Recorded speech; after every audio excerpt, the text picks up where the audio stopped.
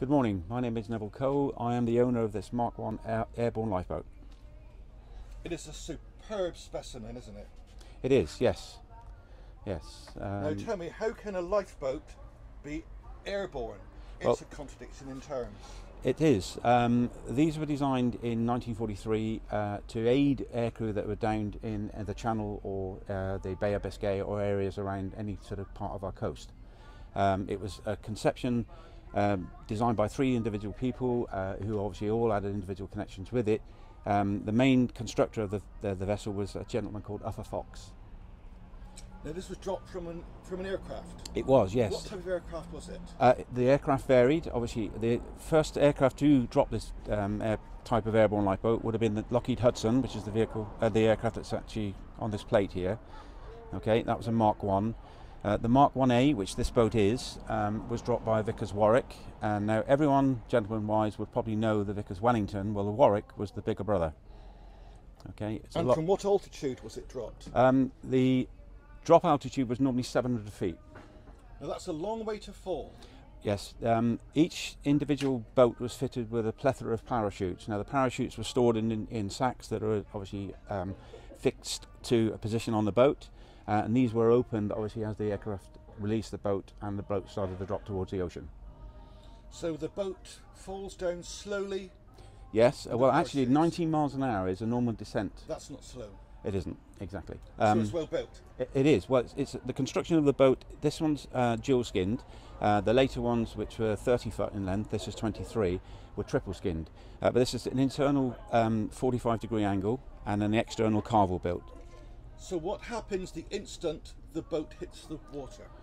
Well, before we get to that sort of stage, as the boat is originally released from the aircraft, um, if we come this way, uh, using this photograph as an example, on the central photograph there, you can see there are two large packs and a small centre pack the size of a pillow. Okay, that small centre pack is the drogue chute. That's the one that's attached to the aircraft. On release, that is actually uh, dispatched because it's dropped to the aircraft. That lifts up the two larger packs, which then deploys the six six parachutes, 32 foot diameter, in each of three in each of those two packs. Uh, at that stage, there the boat will start to drop away, obviously supported by a plethora of parachutes. So we, we're in the air, coming down, we hit the water. Yeah. What happens then? Okay. Well, prior to that actually happening, we have three rockets on board of this boat. Rockets? Rockets. Yes. Well, they're, they're actually safety rockets as such. Uh, one is in the bow. Uh, the one that's in the bow obviously uh, is connected to a drogue, which is basically a sea anchor. Okay.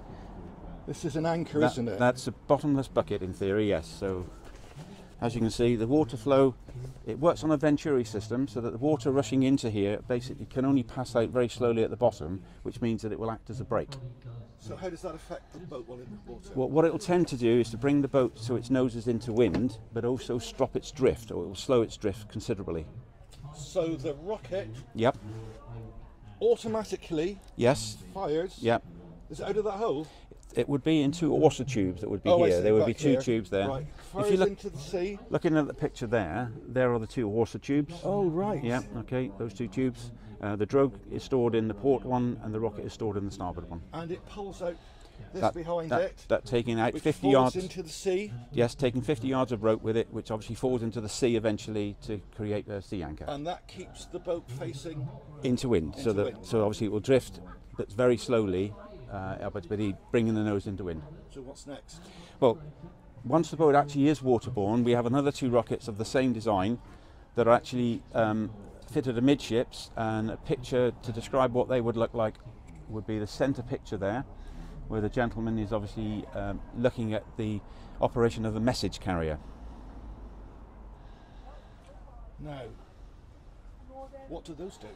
Well, those two rockets, when fired, uh, which is the, the firing of those rockets is caused by this unit here, which is an immersion switch. Now, that immersion switch is bolted to the underside of the keel and uh, it operates like a normal light switch would be, where power comes in until the, the sol- soluble plug that's inside here dissolves.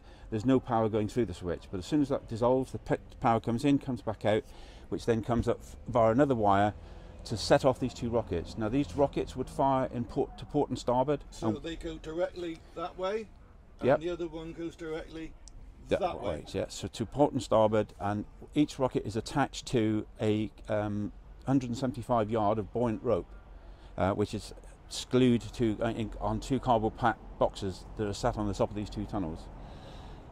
And what is the function of that? Well, that's basically to give the gentleman on board a lifeline to uh, grab hold of and retrieve themselves to the boat. So that would float behind the boat. No, they would, should float in line with the boat, hopefully. In line with the boat. yeah, and be, and be dragged any air crew in the water can hold on to that Yes. and pull themselves towards the boat. inwards. Yeah. If we imagine that we're in a dinghy and the dinghy is to the forward of us, we're now obviously being held in, uh, hopefully in a slower position, drift position, than what the dinghy would travel. Although the dinghy is travelling in our same direction, it may actually veer off quite considerably. If it veers off, then hopefully be uh, somewhere along that 175 yards of rope, they will be have a point of being able to grab hold of it and then pull themselves towards the lifeboat. Now, this item here interests me immensely. Just what is this? That unit there, well, that's actually a kite.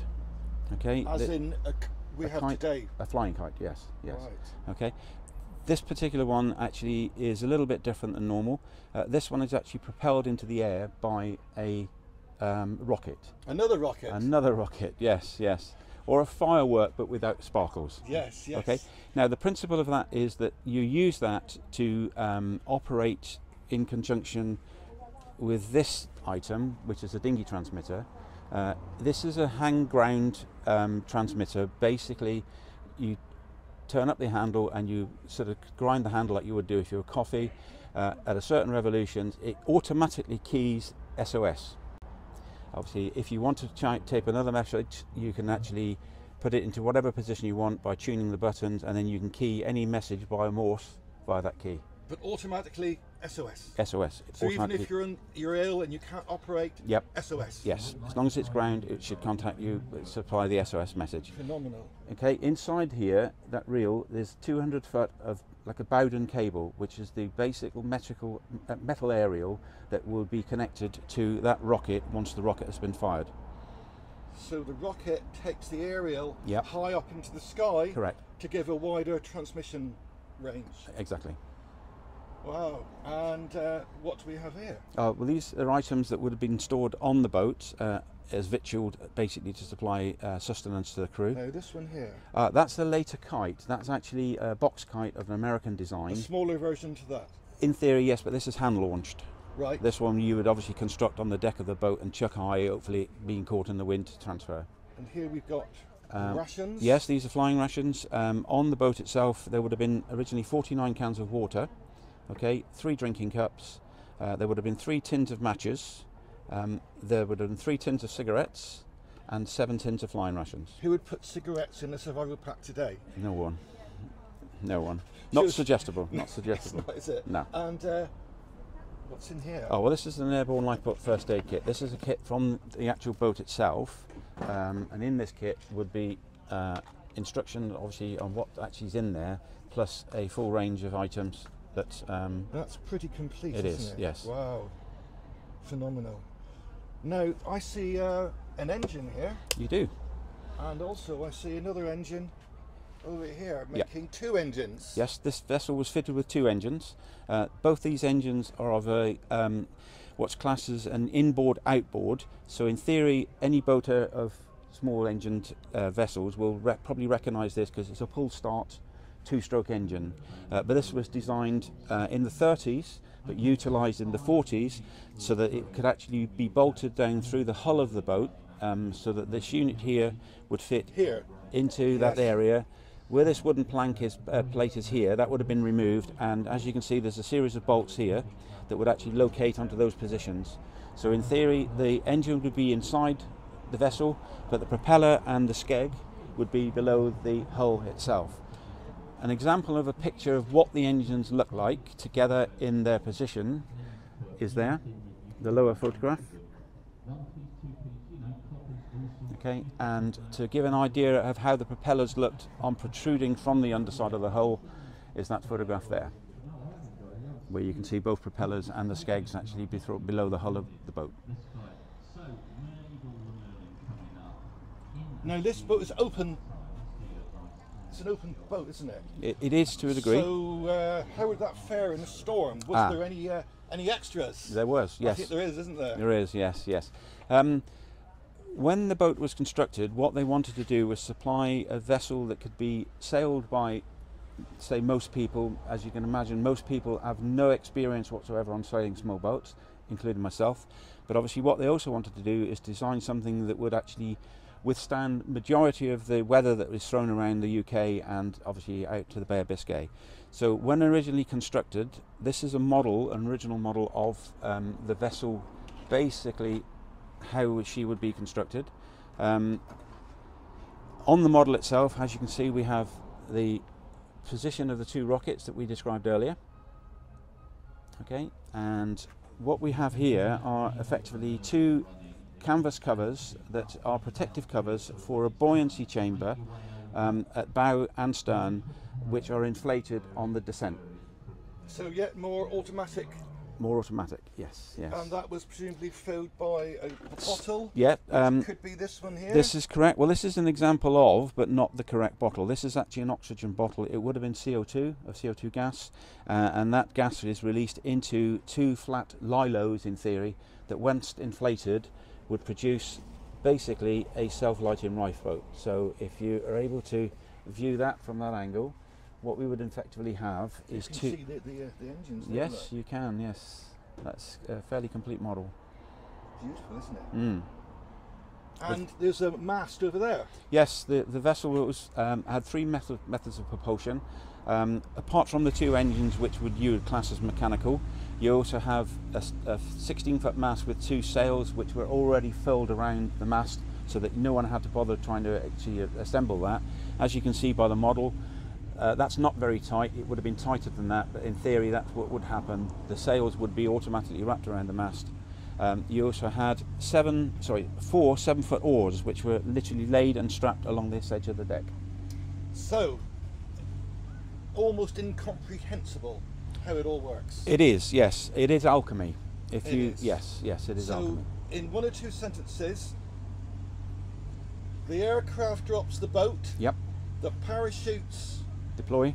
then Uh, it lands in the water. the rockets. The rock, the drogue is fired out uh, once the boat is waterborne.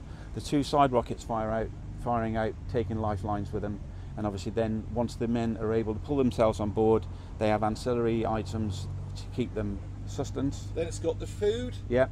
And also the radio, and protective clothing. protective clothing, first aid, and then they inflate the. Nope. Uh, No, the, the inflation of the cylinders by the cylinders is operate, uh, actually operating when they the boat is dropped from the aircraft. all automatic. All automatic. I mean, today you would need several pages of computer code. You would. And yeah. this is all basically done by what timed it? Uh, how, Pyrotechnic? uh, how do you mean? What? does- In what order? I mean, how did it? It was no. It was. It was. It was done by things happening, wasn't it? It was. Hitting the sea, the water entering the the switch. Yeah. Um, I mean, it, it, this all happened in the between 700 feet and waterborne, so that approximately takes le- less than 19 seconds. But in that time, um, various items have happened. So, on release from the aircraft, the small parachute pack uh, is de- deployed. That lifts up the larger pack. At the same time, we have a level switch that produces electrical current to a battery. As soon as that battery is actually live, it fires the, the bow rocket. As soon as that rocket has been dispatched, um, operating cables that are connected to the parachute straps, um, they pierce, they pull these uh, acons that are here, Steve, which then basically pulls the cable, pushes the pin down here, pierces the disc, releases the CO2 bottle, which inflates two buoyancy chambers. Um, this is all happening as soon as we now become uh, waterborne. The immersion switch then fires, um, obviously operates, sorry, which fires the two rockets, and then within seconds of that happening, also uh, there's another electrical charge that goes up to a position apex at the center of the parachute cluster, which then should release those parachutes to stop them operating as a sea anchor. Unbelievable. Yep. Let's just look at these photographs here before we end. And it's all here, isn't it? Yeah.